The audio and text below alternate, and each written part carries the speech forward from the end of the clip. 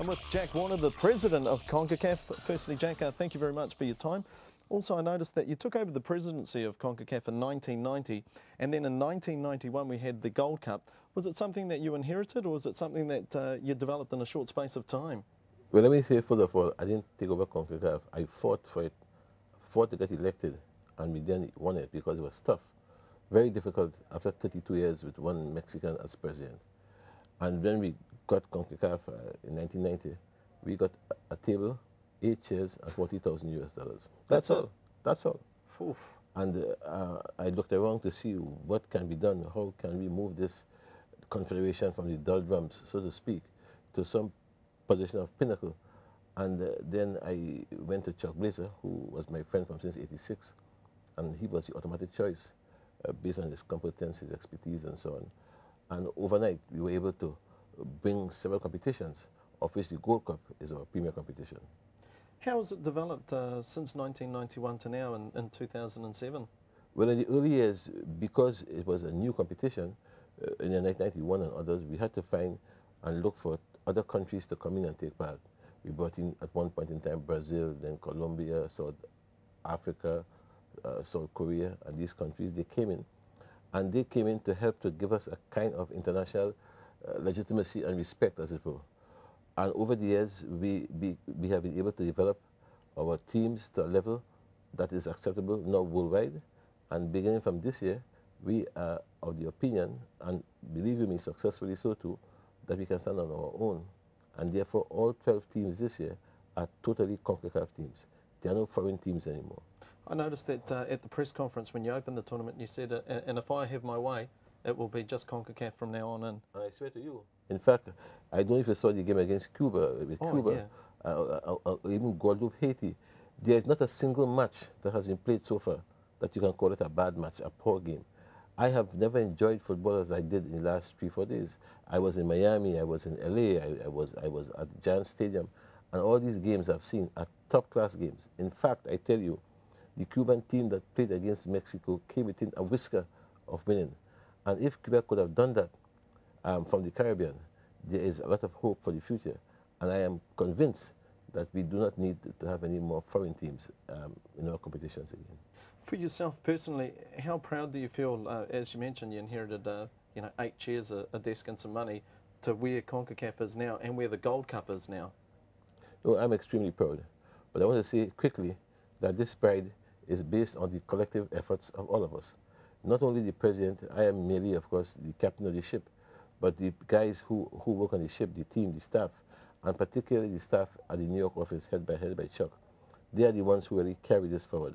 And we have a kind of renaissance, as it were, a kind of enlightenment now in football, in CONCACAF. And I tell you, there's no turning back, none whatsoever. For the future of the Gold Cup, are you looking to possibly expand the tournament from 12 teams to some more or, or look to do something different as, as it goes on? Ideally, we should go to 16 teams. But I would like to say that is down the road because we should um, at least, uh, I always make a point, we should quit before we walk. And we should not allow our success, our immediate success, to tend, of course, to push us too quickly. And for me, ultimately 16 teams. But right now, I'm satisfied with the 12 that we have. I've also heard rumours of uh, possibly a, a CONCACAF Champions League at a club level. Is that, uh, is that correct? That's perfect. Uh, that's correct. It was passed at the last uh, Congress. It was passed at the last CONCACAF Executive Committee with Wow. 24 teams. It's an event whose time is due, and the system we have in play is not only innovative, but is one that is satisfactory to all the countries, all the participants. And I believe that that is, will be as popular as, if not more than, the Gold Cup, because it encompasses um, the clubs now, it, uh, and the clubs sometimes have even stronger affiliation than some of the countries. The passion is always there, the sponsorship is always there, and I, um, I, I, I really, really believe that uh, more importantly, the fact that we have the FIFA Club World Championship every year now would make that event even more important than it is at the moment. W- would the winner of the uh, Champions League participate in the uh, Club World Cup yes, in mo- Japan? most definitely. That will be the case, and that will be so um, beginning of 2009. Before you, you leave the presidency or before you leave CONCACAF, what would be your ultimate dream to where to see it in the future? You know, that's a fantastic question. Thank you. The day, the, the day, the day and I mean very soon, I would want to see a CONCACAF country in a World Cup final. If we don't win it, Jesus Christ, is our time. We have to mm. win a World Cup final. And if you ask me, and I would say, I say this, it would seem over the years that Mexico is the country that is best geared to do this for us. And that is why always I'm concerned about the fortunes of football in Mexico. Because when Mexico football is on the rise, CONCACAF is on the rise. The US also is coming, to, is coming along, and so is Costa Rica.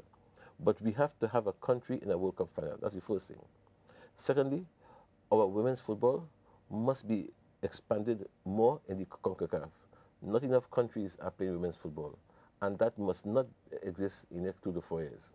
And thirdly, and most importantly, our youth programs must be more effective. We can't expect to succeed in football unless we build from the ground mm. up, and therefore our youth programs must be effective. It must not be cosmetic. It must be truly effective programs where we must put some money, have a vision, know where we want to go, and how we want to get there. And if those things are achieved, the rest will fall into place, like refereeing, coaching, sports medicine, and so on. Well, Jack, what was the, the basic premise behind uh, the Gold Cup itself? Well, let me say, prior to the Gold Cup, you had World Cup qualifying, and that was a four-year event. But the Gold Cup came in for every, every two years, so as to stimulate activity among the countries, to keep them prepared on an ongoing basis, and to help them to lift the level of football.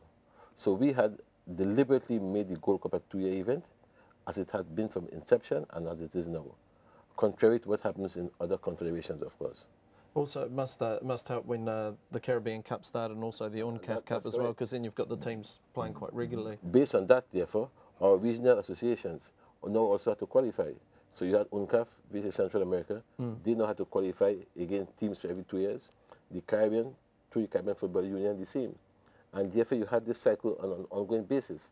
And I'm saying that this helped to, to stimulate activity among the countries and to bring them up to an acceptable level. Now, you mentioned uh, that your ultimate dream would be to see a team from CONCACAF in the World Cup final. How much do you think that the Gold Cup will help uh, the teams from CONCACAF make that journey?